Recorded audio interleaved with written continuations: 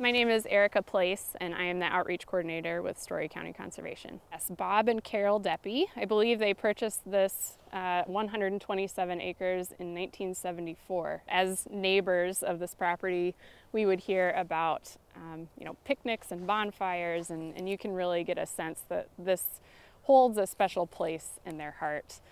It is right across the road from McFarland Park. It is, you know, directly across the road. I can see it, the Conservation Center from here. And because it's so close, we want to make sure that we're being mindful about what amenities are already at McFarland Park and try to do something here that complements that. Uh, we want to increase habitat for native plants and animals too. That's a goal of ours always is to be thinking about the wild lives that call these places home. And our board also wanted to make sure that we had a pretty light footprint on, um, you know, whatever it is that we end up putting here. Most of it is uh, kind of upland grassland and the rest of the property has some upland woodland. There's also a small creek that runs through the property too. And behind me, um, there is what we call remnant prairie. Less than one half of 1% of Iowa's original prairie is still intact in Iowa, which is not very much.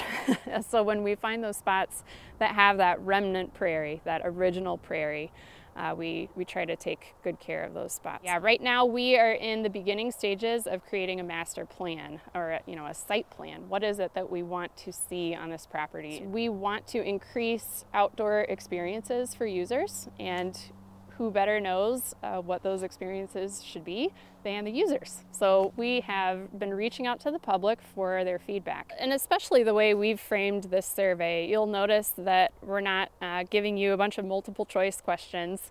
They're short answer fields. Uh, you get to type in what it is that you want to see, and that makes it a little hard to, you know, analyze the data, but it allows you to be creative too. Maybe there's an idea or a common theme that emerges that this property isn't quite right for, but now we've got a new idea for the next time we're looking at a property. We hope that people reach out to us in whatever way they feel most comfortable.